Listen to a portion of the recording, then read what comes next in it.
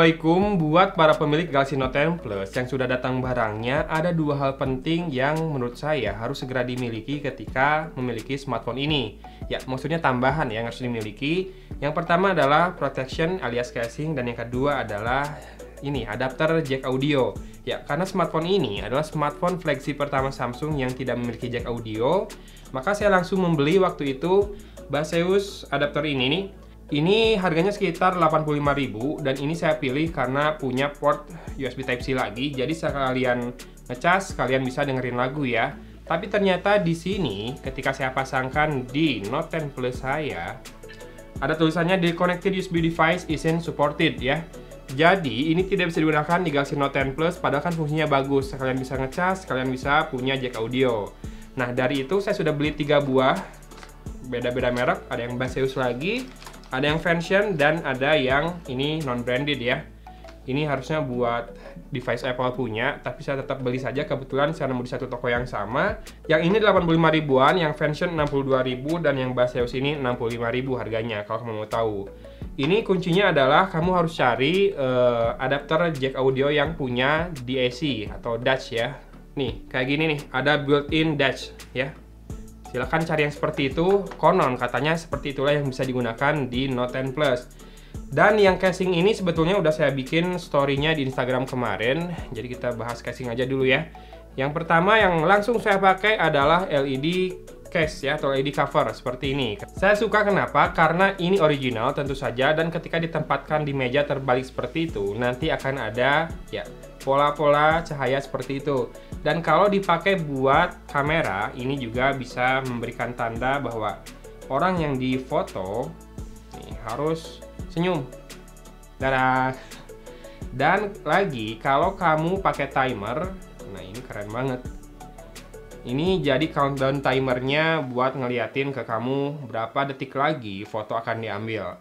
Pokoknya udah keren banget, bahkan ketika pakai case ini, ini langsung kedeteksi sama smartphone-nya dan dia langsung mengubah temps-nya. Nah, kalau kamu ngelihat wallpaper di lock screen ini, nah yang ini, ini dari temps-nya ya. Aduh, ini face unlock-nya akurat banget. Jadinya langsung ke unlock terus. Kita tutup kamera depannya deh. Nih, seperti ini. Ini temps dari si covernya. Jadi ketika kamu beli covernya, kamu pasang, nanti kamu akan dapat notif selamat atas case barunya dan disuruh install Galaxy Friends ya. Dan ada aplikasi namanya LED cover. Nanti kamu bisa setting di situ. Dia bahkan tahu serial number dari aksesorisnya, expirednya sampai kapan. Jadi kalau kamu beli yang asli sudah pasti muncul di sini. Kemudian juga dia ada aplikasi yang bisa membuat LED covernya kita atur sendiri ya namanya adalah LED cover ya. bisa mood lighting kayak tadi klip-klip di belakang atau bisa gambar ya LED icons. Tinggal diatur saja bisa buat notifikasi juga ada aplikasi yang bisa tambahkan nah yang dua lagi yang dikirim Samsung untuk saya adalah yang pertama Samsung Clear View Cover ya. Kita akan coba pasangkan dulu sebentar muncul ya tulisannya congrats on the new case. Ya, setiap kali kamu beli case original Samsung, maka kamu akan dapatkan notifikasi seperti itu dan ini adalah clear view cover ya. Nah, ketika ditutup akan masih muncul sedikit di bagian layar ini untuk memunculkan notifikasi jam, tanggal dan sisa baterai. Jadi kamu tetap bisa ngecek semua hal itu tanpa harus membuka si covernya. Ini warnanya silver seperti ini dan ini sangat presisi, sangat melindungi termasuk ke kameranya juga. Tombol-tombolnya tetap bisa diakses dengan mudah. Dan yang pasti, feelsnya sangat premium sekali di tangan. Buat kamu yang suka pakai flip cover, mungkin ini bisa jadi alternatif ya, di mana kamu akan selalu bisa melihat jam, tanggal, dan notif di situ. Ya.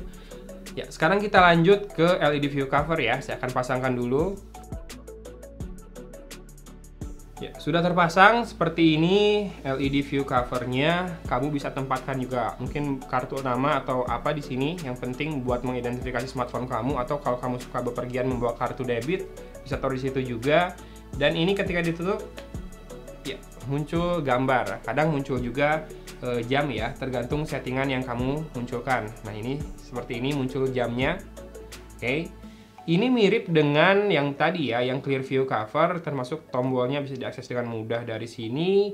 Proteksi kameranya juga sama, warnanya juga betulan sama, sama-sama silver, dan sama-sama presisi juga di semua sisi.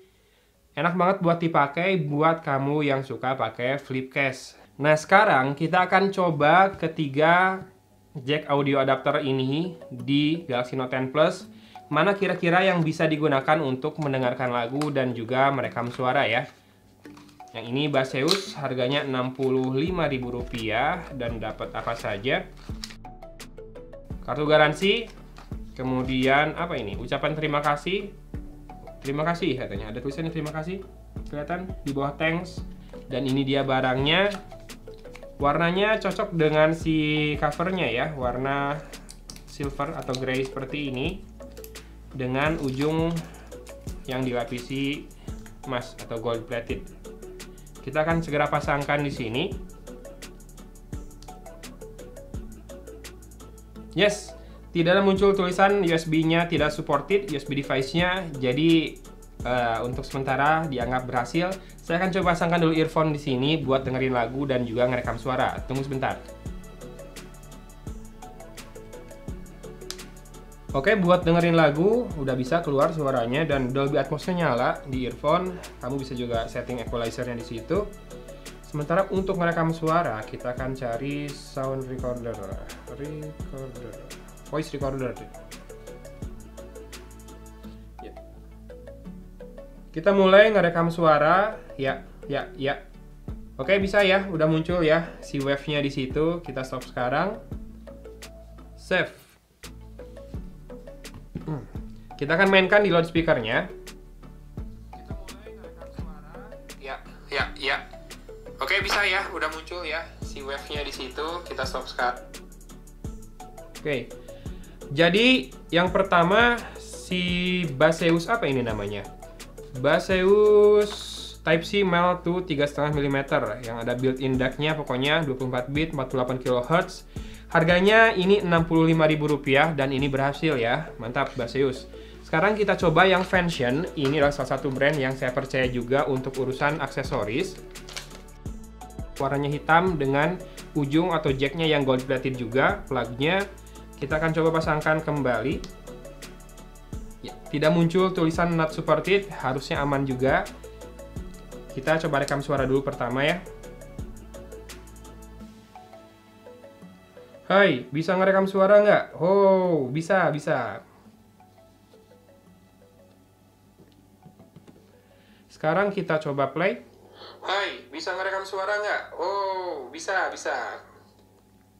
Ya, bisa ngerekam suara dan saya ngerasanya suaranya lebih jernih dibanding yang Baseus tadi. Entah mungkin faktor uh, noise di background atau faktor kurang pas atau faktor tadi mikrofonnya terlalu dekat, entah gimana, tapi saya ngerasa ketika ngerekam suara, Fansion ini lebih clear dibandingkan Baseus tadi.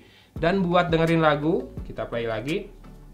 Oke, bisa. Ada suaranya keluar. Dolby Atmos juga nyala, mantap. Berarti terakhir yang akan kita coba adalah yang non-branded itu, yang harganya malah lebih mahal. Ini 85.000. Kenapa lebih mahal? Karena juga punya port USB Type-C buat charging. Ini sih ditulisnya di sellernya ada ininya juga, ada DSC-nya juga, dash-nya juga. Yuk kita coba langsung ya. Yes, nggak muncul juga tulisan not supported. Seharusnya sih bisa ya buat dengerin lagu sambil ngecas. Ya, karena ini ada port USB Type-C-nya. Bentar, nanti saya cari power bank buat ngecasnya. Sekarang kita dengerin dulu lagu. Ya, masih muncul suaranya. Dolby Atmos juga masih nyala. Nah, entah perasaan saya saja atau gimana, tapi saya ngerasa kalau urusan output audionya lebih bagus yang Baseus dan Fansion tadi dibandingkan ini ya. Sekarang kita coba buat ngerekam suara, apakah akan lebih bagus atau lebih jelek dibandingkan yang dua tadi. Kita rekam. Halo, halo, bisa ngerekam suara juga ternyata. Ya, seperti ini suaranya. Yuk kita langsung play saja.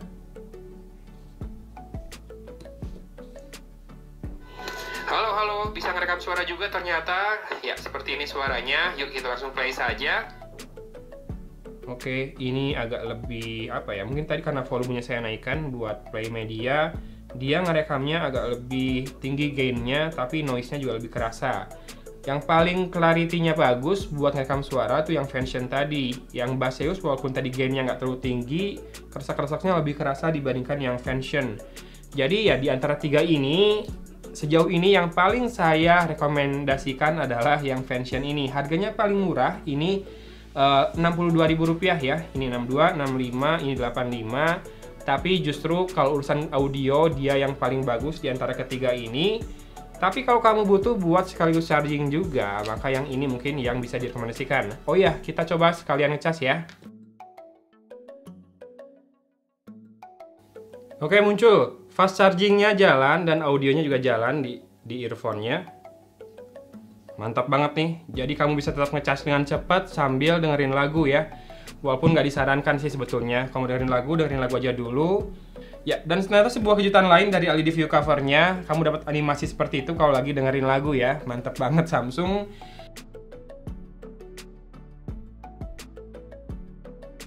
Ya, dan rekap dari gadget unboxing hari ini adalah uh, tiga buah adapter untuk jack audio yang bisa kamu beli di Tokopedia semuanya atau di Shopee terserah. Nanti akan saya berikan linknya di deskripsi video. Yang ini saya sarankan jangan dibeli buat Galaxy Note 10 Plus user ya. Kalau buat device lain mungkin bisa jalan. Tapi buat Note 10 Plus kamu pilih tiga ini aja. Baseus, Vention dan ini yang ini non branded tapi sekaligus bisa ngecas secara cepat ya. Mantap.